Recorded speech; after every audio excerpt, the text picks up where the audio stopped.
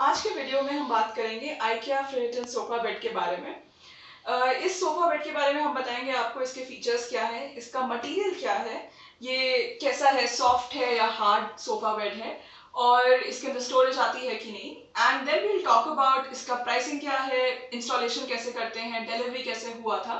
और फिर उसके बाद हम फाइनली अपना वर्डिट भी बताएँगे क्या आपको ये खरीदना चाहिए। ये सोफा कम बेड हम लोग यूज़ कर रहे हैं around two two and half years से एंड uh, आइए देखते हैं इसका एक्सपीरियंस कैसा रहा हमारा। ये एक लाउंजर सोफा है जिसमें जो लाउंजर वाला पार्ट है वो आप लेफ़्ट साइड भी लगा सकते हैं और राइट right साइड भी लगा सकते हैं। ये तीन बैक क्वेश्चन के साथ आता है जैसा कि आप देख रहे हैं काफ़ी बड़े क्वेश्चन हैं तो ये उनके साथ आता है। और इसमें जो लाउंजर वाला पार्ट है उसके नीचे आपको इनफ स्टोरेज मिलता है बेडिंग वगैरह रखने के लिए। इसको खोलना भी बहुत ही आसान है एक स्प्रिंग मैकेनिज्म के थ्रू ये आप इसको आराम से खोल सकते हैं। इसमें हमने काफ़ी बेडिंग डाली हुई है क्योंकि हम लोग काफ़ी रेगुलरली यूज़ करते हैं इसको एज अ बेड हम लोग टीवी टाइम पे आराम से खोल लेते हैं इसको और बेड बना लेते हैं। तो इसकी बेडिंग हमने इसी में स्टोर की हुई है। अब देखते हैं सोफा कम बेड का सबसे एक्साइटिंग और मोस्ट डिफ़िकल्ट पार्ट जो कि होता है उसको बेड बनाना। तो फ्राइटन के साथ ऐसा है कि इसको बेड बनाना बहुत ही आसान है। इसको बस आप एक उंगली से बाहर निकाल सकते हैं। ये व्हील्स मैकेनिज्म के थ्रू बाहर आ जाता है। और फिर उसके बाद ये जो दो लूप्स दिए हुए हैं, इसमें आप इसको पुल करिए, खींचिए और अंदर डाल दीजिए। तो ये आपका बन गया बेड अगर आप इस तरफ़ तकिए लगाएँगे तो आपके दो लोग आराम से सो सकते हैं, जो कि छः फिट की हाइट के हों।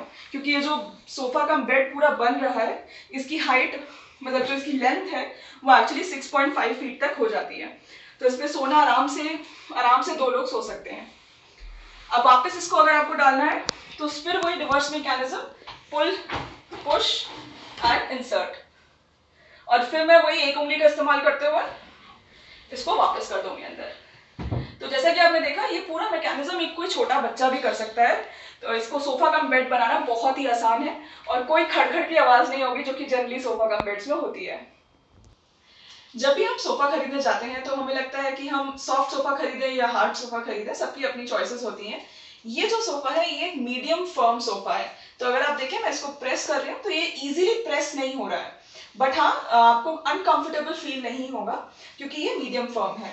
अब बात करते हैं इसके स्ट्रक्चर की।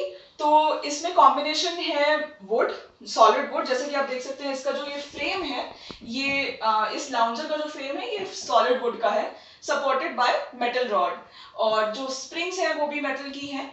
इसमें प्लाईवुड पार्टिकल बोर्ड और और भी वुड का इस्तेमाल हुआ है। आप साइड पे जाके चेक कर सकते हैं कि कौन से पार्ट में एग्जैक्टली exactly क्या क्या चीज़ें यूज़ करी गई हैं। इसका जो फैब्रिक है जो कि आई थिंक बहुत इंपॉर्टेंट होता है कोई भी सोफा सिलेक्शन में uh, कि हमें सॉफ्ट फैब्रिक चाहिए या हार्ड चाहिए।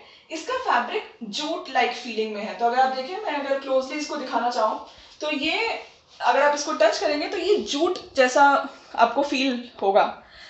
तो अगर आप ये देखें, इसको मैं टच कर रही हूँ तो ये सॉफ्ट फैब्रिक नहीं है, ये जूट जैसी फीलिंग आपको देगा। और इसके जो तीन क्वेश्चन हैं, वो भी सिमिलर फोम के बने हुए हैं। मीडियम फॉर्म फोम है उसमें भी। और बैक साइड में भी आपको वुड प्लाईवुड पार्टिकल बोर्ड का कॉम्बिनेशन दिया गया है। हमारे एक्सपीरियंस के हिसाब से ओवरऑल ड्यूरेबिलिटी इसकी काफ़ी अच्छी रही है। हम तीन साल से ऑलमोस्ट रेगुलरली यूज़ करते हैं। इसको बेड भी हमने बहुत बार बनाया गेस्ट जब घर में आ जाते हैं तो हम इसको रेगुलरली बेड भी बनाते हैं। और ये लिविंग रूम में है तो हम हर वीकेंड इसको एक्सपैंड करके सोफा कम बेड बना लेते हैं। कोई भी ऐसा पार्ट नहीं है जो अभी तक खराब हुआ है या कहीं पे कुछ ब्रेकेज हुई है। हम लोग डिसेंटली यूज़ करते हैं इसको, लेकिन कहीं पे भी कोई मेंटेनेंस या रिपेयर की ज़रूरत नहीं पड़ी है अभी तक। ये सोफा पाँच वेरिएंट्स में अवेलेबल है। इसके डिफरेंट कलर्स आते हैं और डिफरेंट थोड़ा बहुत फैब्रिक का भी डिफरेंस रहता है। और उसी के हिसाब से इन्होंने प्राइसिंग भी करी हुई है। Thirty eight thousand nine ninety से लेकर के I think forty seven thousand nine ninety तक के सारे वेरिएंट्स हैं। आप साइट पर जाके चेक कर सकते हैं। हम लिंक कर देंगे डिस्क्रिप्शन बॉक्स में। और ये वाला जो वेरिएंट है, ये बेज कलर है फ्रेट एंड सोफा का।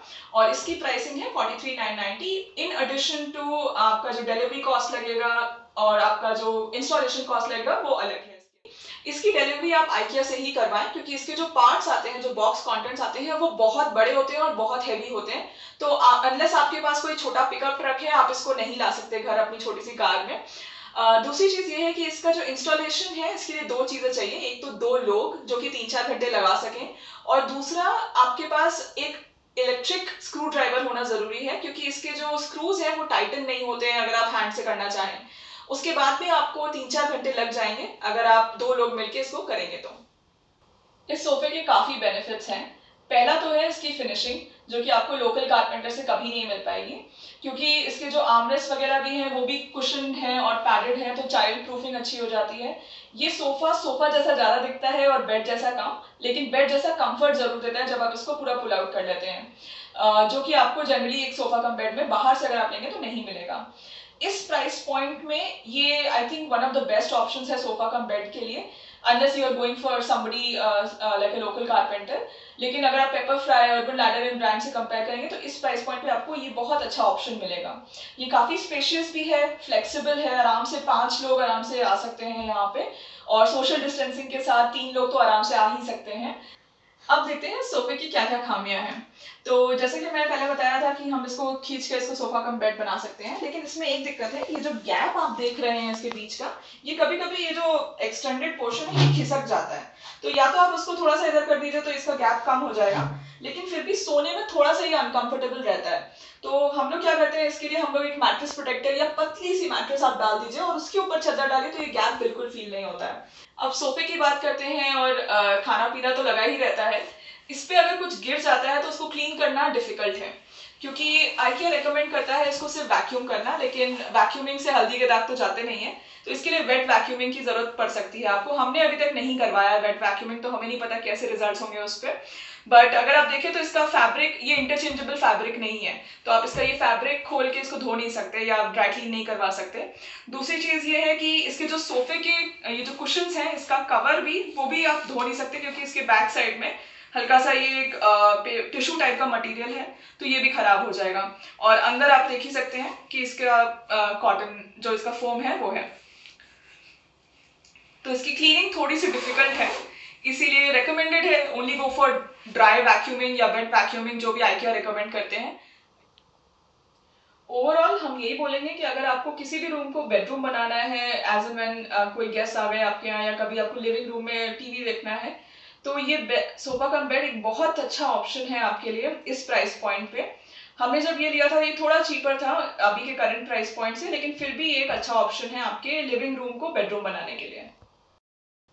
अगर आपको ये वीडियो पसंद आया है तो प्लीज़ लाइक करिए और हमारे चैनल को भी सब्सक्राइब करिए। हम लोग आईकिया के प्रोडक्ट रिव्यूज़ रेगुलरली अपडेट करते हैं। हमने एक ब्रिमनेस बेड डे बेड पे भी एक रिव्यू uh, बनाया था। वो लिंक हम लिंक कर देंगे डिस्क्रिप्शन बॉक्स में भी। तो वो भी आप चेकआउट कर सकते हैं। हमारे घर में अराउंड 50 से ज़्यादा आइकिया के प्रोडक्ट्स हैं जैसा कि आप देख ही सकते हैं।